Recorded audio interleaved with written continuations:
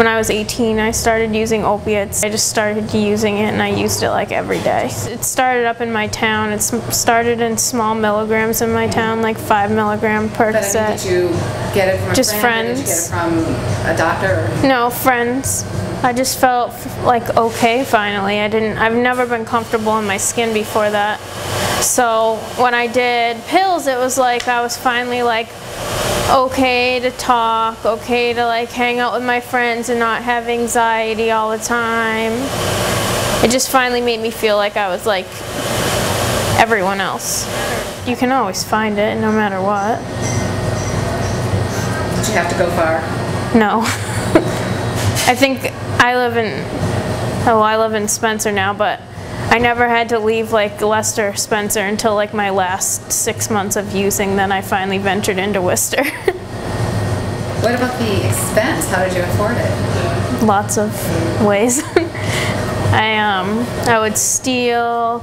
I would tell my parents like I spent my money on like stupid things, so I needed their money, or I would say like I can't pay my car bill. Like I would make up. I had a hundred thousand reasons. it's a job to be a drug addict.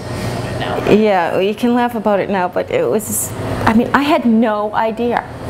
I really didn't. Or, you know, you'd have maybe a $5 bill on the counter and then all of a sudden it's gone and you'd ask everybody and nobody would know where it was. So you, I thought I was the crazy one. It was really hard for our family because um, I have two older sons who both graduated from UMass and never had any addiction issues. My husband and I, we don't even drink alcohol. So it was really hard for us to really even figure out what was going on with my son. Um, his signs of use were he wasn't going to school, so the school filed a CHINS against him. And high school? yeah. And when he went to court, he was very honest with the judge and told the judge that he was leaving so that he could go and smoke marijuana. And at that time, I was really concerned because the marijuana is so much stronger than it was when we were attending college. It smells like a skunk, and he just seemed so out of it that I was just really worried about where this was going to go. So that's when I started like looking online, and I found out about Learn to Cope. And then when we found Learn to Cope, it was like, it's probably the best thing that ever happened throughout this whole ordeal because you walk in and you're not alone. Kaylin reached recovery by doing a, um, going through detox. Locally? Uh, yes, in Worcester. Okay. And then she went to a 28 day or 30 day intense 12 step program up in New Hampshire. And then from there she went to sober living in Dorchester.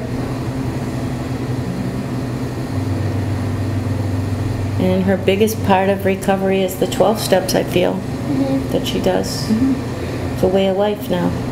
Most of our kids don't get any insurance coverage. They get maybe five days of detox, mm-hmm. And the insurance companies won't pay for like additional treatment. But they need at least like 30 days away from home, and then they need to follow up with that in sober living.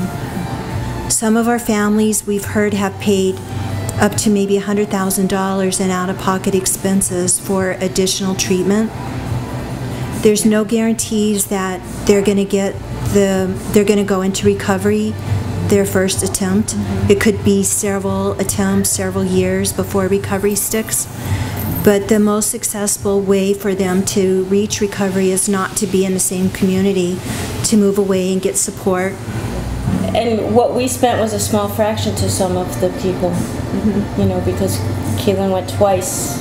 Um, and she got it and she Over got fifty it. thousand, under fifty thousand? It was un, under fifty thousand. It was, I mean, the, the, the cost would probably be maybe fifteen thousand for us. Fifteen, okay. It's that's like a drop in the hat with some, from what people pay.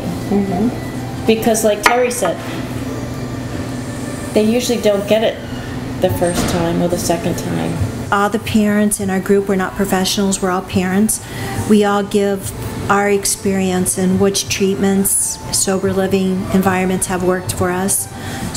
And I think if it wasn't for all of the parents coming together, we wouldn't have the success rate that we have in getting our kids into treatment and recovery. And that's really one of the main focuses, is that we want to give parents hope.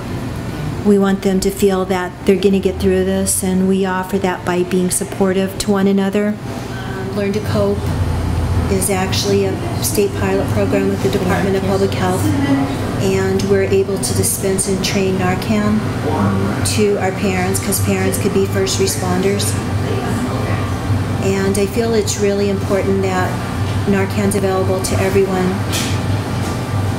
because um, part of this whole journey is they can relapse.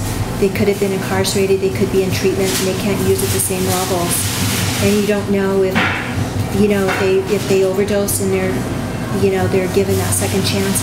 That might be the opportunity for them to get into treatment. I can hold a steady job now. It's really nice. If they have a child that's an addict, um, don't ever give up hope on them. Um, continue to support them. That's the big thing, the hope, because don't ever lose hope.